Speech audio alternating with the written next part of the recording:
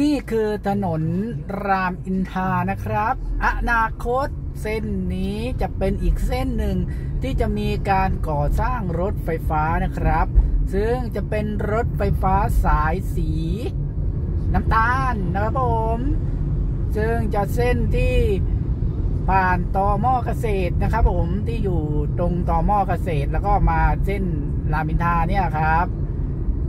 ซึ่งเป็นรถไฟฟ้าสายสีน้ำตาลมาจากนนท์เลยละครับผม ซึ่งจะไปสิ้นสุดที่แยกลำสาลีนะครับตรงถนนรามกำแหงนั่นเองนะครับผม ซึ่งอยู่ในแผนนะครับที่กำลังจะก่อสร้างนะครับ เมื่อก่อสร้างเมื่อไหร่เขาก็จะปิดการจราจรนะฮะน่าจะตรงเกาะกลางเหมือนกับเส้นสีเหลืองและสีชมพูแล้วครับ ที่ก่อสร้าง แต่ว่าต้องกินพื้นผิวจราจรไปอีกหนึ่งเลนนะครับ เพื่อเป็นพื้นที่ก่อสร้างทั้งสองฝั่งก็เหลือการจราจรแก้สองเลนนะครับ จะทำให้เส้นทางสายนี้เป็นอีกเส้นหนึ่งนะครับ ที่บางครั้งในชั่วโมงเร่งด่วนจะเกิดอัมพาตขึ้นได้นะครับ เพราะเหลือจ้องจราจรน้อยลงนะครับผม แต่ผมว่าก็จะมีการเลี่ยงจากเส้นนี้แหละครับ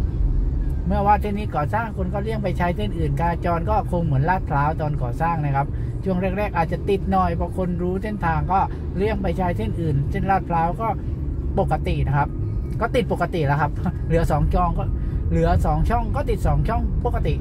สามช่องก็ติดสามช่องปกตินะครับ การจราจรก็เท่าเดิมไม่ทำให้ช้าหรือเร็วขึ้นนั่นเองครับผมเพราะคนไทยสามารถปรับตัวได้ทุกสถานการณ์อยู่แล้ว นั่นเอง ซึ่งตอนนี้ผมจะไปไหนดี เนี่ยมามาดูเส้นนวมินนะครับ ที่จะก่อสร้างรถไฟฟ้าสายสีน้ำตาลนะครับ เนี่ยครับการจราจรช่วงวันหยุดก็จะประมาณนี้นะครับ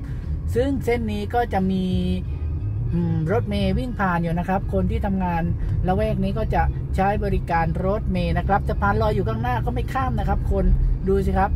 อ้าวมาข้ามถนนเฉย ถ้าเกิดรถชนทำไงนี้อันนี้สะพานลอยอยู่เนี้ยมานิดเดียวก็ถึงสะพานลอย ไม่ข้ามกับพ่อผมเนี่ยครับคนเรา อืมเกิดอะไรขึ้นก็โทษคนขับรถนะครับ แล้วคนขับรถเขาจะได้ระวังอย่างไร เออสะพานลอยก็มีทั่วนะครับ ทุก500เมตรนะครับ ผม แต่ไม่ข้ามครับ นี่แหละครับ นิสัยคนเราครับผม ซึ่งก่อสร้างเมื่อไหร่เราก็จะรู้กันนะครับ เพราะ ก็คงจะอีกไม่นานนะครับ เพราะว่าสายสีเหลืองก็เปิดแล้ว เหลือแก้คืนพื้นผิวพื้นผิวทำระบบข้างล่างนะครับ เพื่อพื้นพื้นสิวหมดอ่าก็คงจะสร้างเส้นต่อไปนะครับ สายสีชมพูก็เปิดแล้ว อืมแปลว่าดับต่อไปก็น่าจะเป็นเส้นนี้แหละครับ ที่จะก่อสร้าง ซึ่งเส้นสีเทาไม่ต้องพูดถึงแล้วนะครับ เพราะว่าเบิดโอกาสแล้วนะครับผม เพราะว่า กทมไม่สร้างแล้วนะครับ ต้องรอดูว่ารอฟอร์มจะรับช่วงต่อหรือเปล่านะครับ ว่าจะได้กำเนิดหรือเปล่าเส้นสีเทาที่ไปวัชรพลทองหล่อนะครับผมซึ่งพอช่วงโค้งเราก็ต้องลดความเร็วนะครับผมและอยู่ในช่องจราจรนะ อย่าออกนอกนะ อย่าขับข้ามคร่อมนะครับผม เดี๋ยวมันจะเกิดหยังขึ้นมานะผม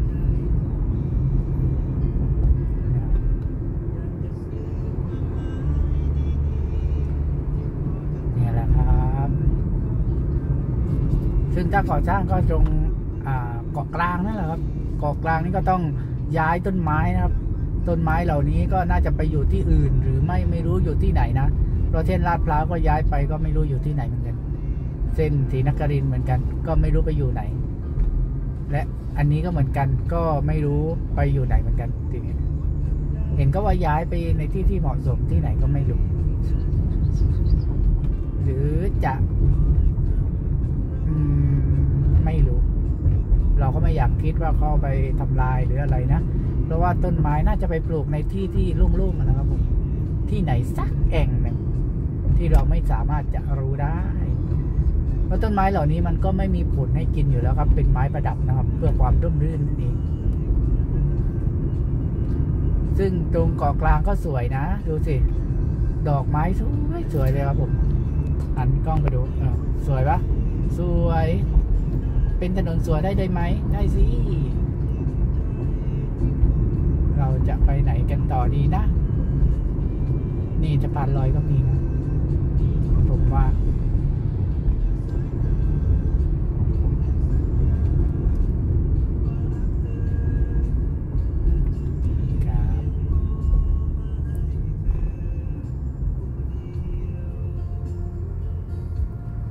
นี้ก็ถึงนวมินไหนแล้วครับ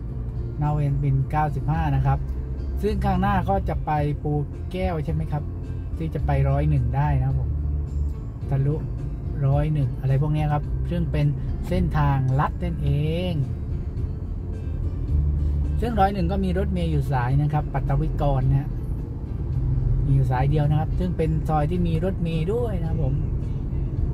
เนี่ยครับเมื่อรถไฟฟ้าสายสีน้ำตาลก่อสร้าง ผมว่าคนโซนนี้กรุงเทพฝั่งตะวันออกโซนนี้จะได้รับประโยชน์มากเลยนะ จริงๆ ก็จะมีรถไฟฟ้าไปลงถือว่าใครมาทำงานโซนนี้ก็นั่งรถไฟฟ้ามาลงสถานีใกล้ ๆ เลยครับผม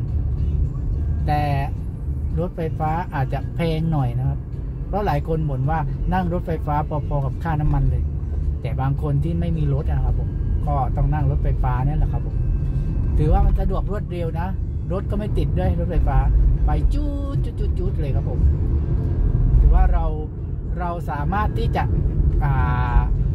กำหนดเวลาได้ว่าควรจะไปเวลานี้ถึงประมาณนี้ครับ แต่ถ้าเป็นรถเนี่ยเรากำหนดไม่ได้นะ บางทีรถติดก็อาจจะช้า แต่ถ้ารถไม่ติดก็พอดีนั่นแหละ เราก็ไม่รู้ว่ามันจะติดหรือไม่ติดนะครับ แต่ความจริงถ้าคนแบบรู้เรื่องเทคโนโลยีหน่อยก็จะมีแอปของกทมนะฮะที่มีกล้อง หรือถ้าไปทางด่วนก็มีแอปของทางด่วนนะฮะแต่มอเตอร์เวย์ก็มีแอปของมอเตอร์เวย์นะครับ ที่เราสามารถดูกล้องวงจรปิดได้ว่ารถติดหรือเปล่าอะไรเนี่ยครับผม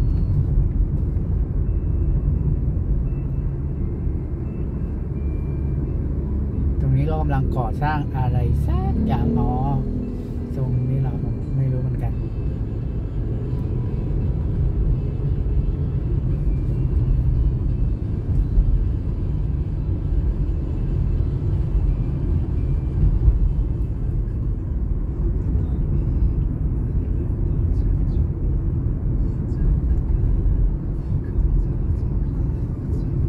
ซึ่งรถไฟฟ้าสายสี น้ำตาลเนี่ย ซึ่งเราก็ต้องเลี้ยวนะ ซึ่งสายสีน้ำตาลก็จะเลี้ยวนี่แหละครับ เหมือนกันนะครับผม เราก็จะเลี้ยวนี่เหมือนกันครับผม ซึ่งเลี้ยวข้าไปที่ตอหม้อเกษตรนี่แหละครับ ผมเนี่ยครับ ซึ่งข้างหน้าก็จะมีตอหม้อของเกษตรเนี่ยครับ ซึ่งรถไฟฟ้าสายสีน้ำตาลก็จะอยู่แนวนี้แหละครับ ไปตามถนนเกษตรณวมินทร์นี่นะครับเนี่ยครับ